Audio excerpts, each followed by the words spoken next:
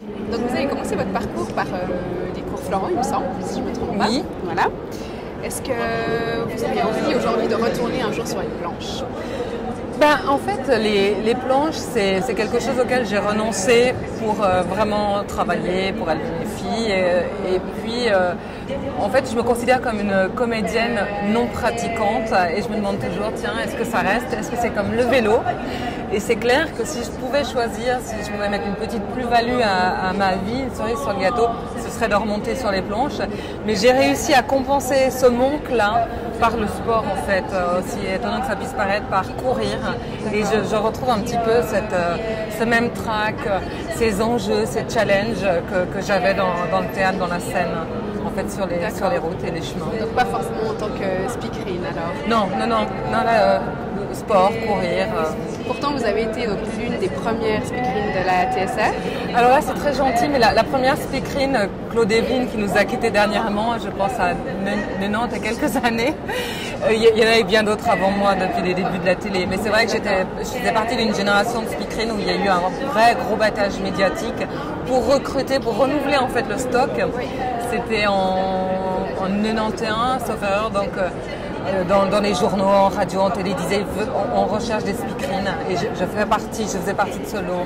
Et ça, ça a été donc euh, pour vous une expérience particulière? Enfin, euh, qu'est-ce que vous ressentirez de, ça? Ben moi, je revenais de Paris. J'avais fait bon, c'est le conservatoire à Genève, les cours Florent à Paris, et on m'a dit on recherche des speakerines. Et j'ai dit non non mais ça va pas, je veux pas du tout faire ça puisqu'on a tout le monde a cette image, la speakerine potiche, pot de fleurs, etc. Et puis finalement, je me suis dit que ça va faire un autre casting, un nouveau casting. J'en avais fait beaucoup à Paris et c'était le challenge de dire je vais être prise plus que l'envie d'exercer ce job. Et en fait, dès le moment où je l'ai eu, en fait, c'est vrai que j'étais dans la première sélectionnée sur, sur le casting, et eh ben, j'ai réussi à en faire euh, un petit peu ce que, ce que je voulais, à faire passer euh, les trois petites choses de, de, comédienne en fait à travers les programmes. Et donc en fait aujourd'hui, donc vous êtes euh, non seulement speakerine, mais vous participez, il me semble aussi au script pour le téléjournal. Oui. Donc ça fait plein de choses en même temps. Comment vous gérez alors, le stress Oui, alors c'est deux stress très différents. Donc c'est vrai que je présente la météo. Bon, ça fait 22 ans que je suis à la télé à l'antenne.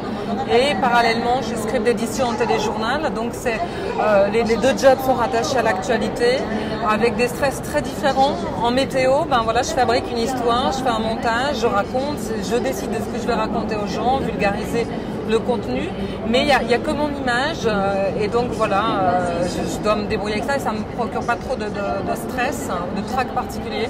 En revanche, script, on conçoit le, côté technique du téléjournal sous forme d'un scénario, un conducteur après les séances de rédaction du matin. On veille à la logistique toute la journée et surtout au moment du direct, eh on lance les sujets et on est un peu le capitaine du bateau, on donne les infos à tout le monde en régie. Et là, c'est un stress énorme parce que l'actualité, euh, bah, on, ne boucle pas un journal à 3h d'après-midi, c'est jusqu'au dernier moment et pendant le journal. Mhm. Et euh, c'est très stressant et j'adore ça. Et ça, vous le gérez comment? Alors vous avez des astuces euh?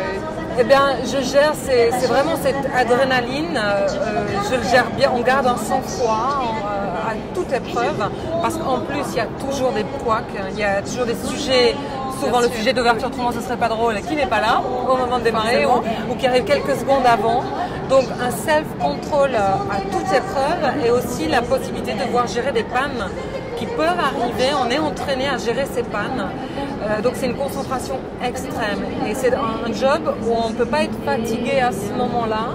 Ça peut être le moment du coup de barre quand on est à la maison, 19h30, 20h, elle vient là tous les sens sont en éveil et on est au taquet, on est vraiment survolté et c'est comme un sprint d'une demi-heure en fait. Alors justement, parlons de sprint, donc vous l'avez dit euh, tout à l'heure, vous êtes euh, une grande sportive.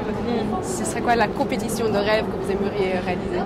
Bon, ben là, c'est de, faire chaque année euh, autant de courses que, je peux. J'en ai fait neuf l'année dernière. Dans le Colon Trek, une grande course de montagne. Alors là, cette année, je dirais peut-être Tierzinal.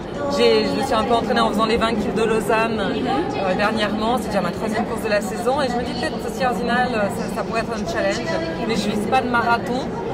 Et puis, il y a, oui, c'est encore plus haut qu'un marathon, Exactement. Alors, le marathon, c'est vrai que c'est surtout, il faut que la mécanique tienne 42 euh, kg. Euh, je, sais que je pourrais avoir l'endurance de faire un marathon. Je suis pas sûre que la mécanique tienne, qu'on on insuffle beaucoup de choses au corps qui ne sont pas forcément très bonnes.